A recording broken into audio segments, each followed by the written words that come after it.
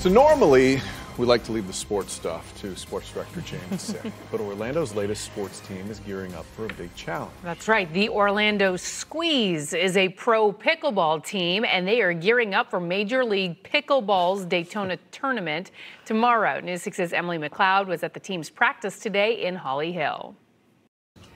Pickleball teams from all over the country, including the Orlando Squeeze, will be at Holly Hill this weekend competing in the MLP tournament definitely really exciting to kind of um, really get out there, compete, uh, be loud, cheer, and, and really uh, have fun out there.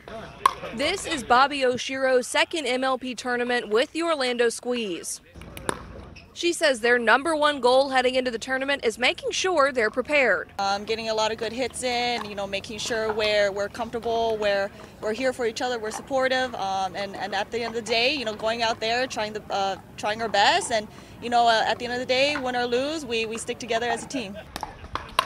This is Major League Pickleball's second tournament of the 2023 season. 24 teams will battle it out among two divisions, Premier and Challenger level. Nearly 100 players from Chicago to Atlanta to Orlando will participate in this weekend's tournament. I think, to be honest, I really think that's what pickleball is all about because it brings a lot of different people together. It brings a lot of different cultures together. You get a lot of people from different states coming together um, to Florida. The Orlando Squeeze also has players from all over the country. While Oshiro is from South Florida, her other teammates are from Utah and California. Orange Squeeze's co-owner Ryan DeVos has another connection to Orlando sports. His family owns the Orlando Magic.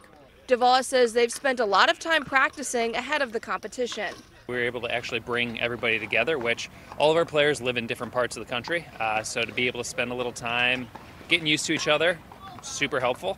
Uh, and hopefully we'll be able to show show show those results on the on the court tomorrow. DeVos says part of pickleball's magic is the sport's accessibility. You don't need to be training in you know like tennis for multiple years. Uh, you can jump in, play in 45 minutes. To find out how to purchase tickets or watch the tournament, you can head to our website, clickorlando.com. In Volusia County, Emily McLeod, Getting Results, News 6.